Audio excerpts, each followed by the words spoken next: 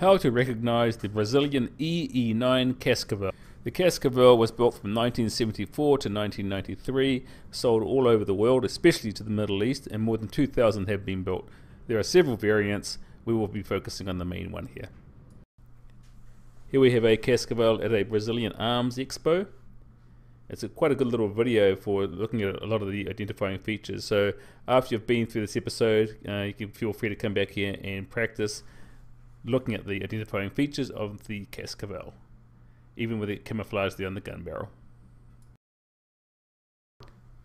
Three points of interest about Cascavel. The original Cascavel was based on the United States Army World War II era Greyhound armored vehicle.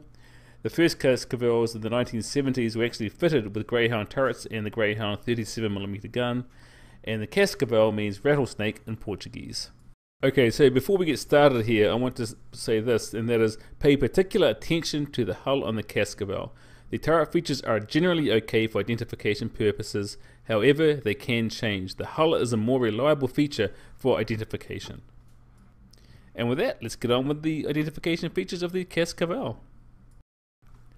The turret is centered in the middle of the hull. The turret has flat back and sides and angles inwards from the base.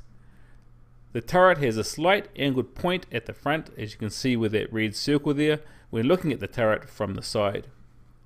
The rear of the hull is flat with the engine grille visible, and you can see that there with that red circle.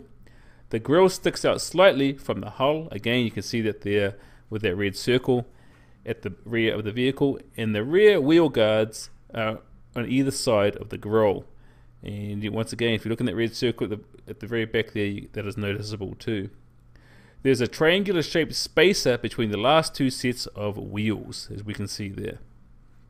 And we can see that with that red oval I have between the second and third wheel sets.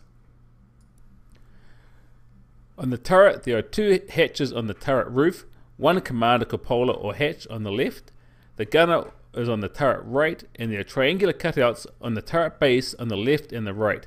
And I've highlighted that there with a little yellow oval there at the base of the turret on the left looking at it. The turret angles inwards at the sides from the base. As you can see that, if you look there, you can see in this photo how the turret angles inwards slightly. The upper glacis is sl sloped, and you can see that with that big red oval there on the upper glacis plate.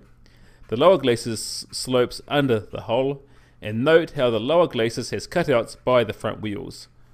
And you can see all that there in that red oval on the bottom there.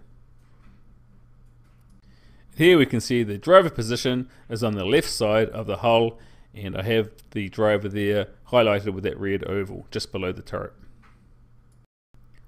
Here we can see there are three wheels on each side of the hull. We can see a hull seam starting from the front of the hull along the sides to the hull rear. Now if you look at, the at the hull seam you can see I have, I have those red arrows there and that kind of follows the seam of the hull. The sides slope up from the front. There are triangular angles at the hull front on both sides. and I have that there. It's kind of hard to see here, but if you look at those two ovals on the left and the right at the front, they're actually highlighting kind of triangular shapes there, little angles there. One is partially blocked by that front mirror.